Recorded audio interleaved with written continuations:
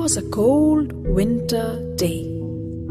A goat herd had taken his goats to the meadow when suddenly there was a snowstorm. The goat herd quickly drove his goats to a cave in a rock face for warmth and shelter.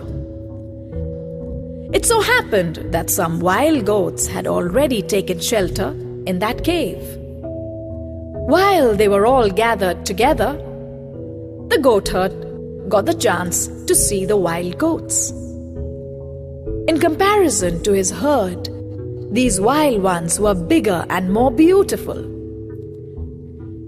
Their sheer size and superior beauty left the goat herder in awe. All the food that the goat herder had collected, he gave it all to the wild goats because he was so fascinated by their beauty.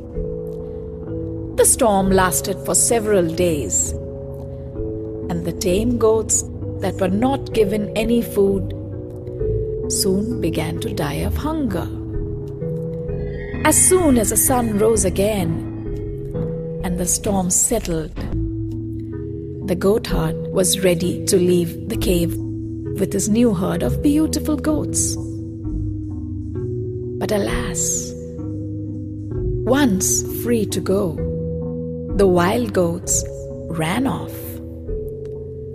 The foolish goat herder was left alone and had to go back home without any goat.